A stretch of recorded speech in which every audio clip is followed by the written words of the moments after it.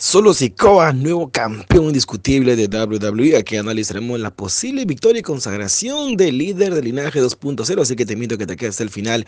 Y antes de empezar, déjanos tu like, suscríbete al canal para que te mantengas informado sobre todo lo de WWE.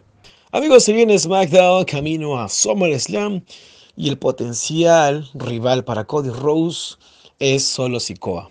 Definitivamente Solo Sikoa se ganó este boleto ya y creo que lo va a revalidar justamente la noche de SmackDown.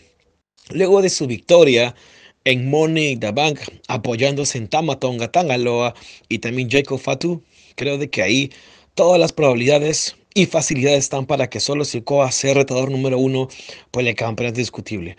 Y obviamente tiene argumentos a su favor.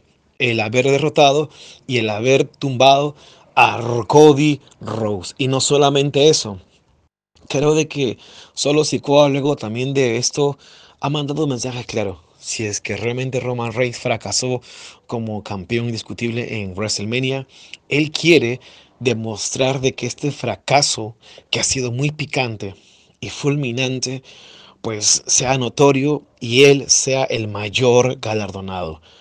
Y muchos se preguntan, entonces, ¿quiere decir de que solo Sikoa aparecerá para mandar un reto oficial a Cody Rose?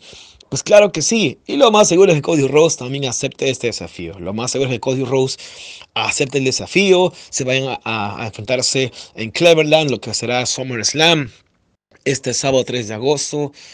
Hay muchas puertas que se comienzan a abrir. Hay muchas cosas que se comienzan a especular. Entre lo que suena fuerte, una posible especulación podría ser de que Roman Reigns también pudiera aparecer en este posible choque de trenes entre Cody Rose y también Solo Sikoa. Así que amigos, vamos a ver qué pasa eh, la noche de SmackDown. Se vienen muchas sorpresas. Ojo con, que también pueda aparecer en el futuro Jimmy Uso, que busca revancha frente a quien nada menos a Solo Sikoa. Así que vamos a ver qué sucede. Solo Sikoa hoy por hoy, pues ya es el amo y señor y dueño de un linaje 2.0. Ya traicionó a Paul Heyman.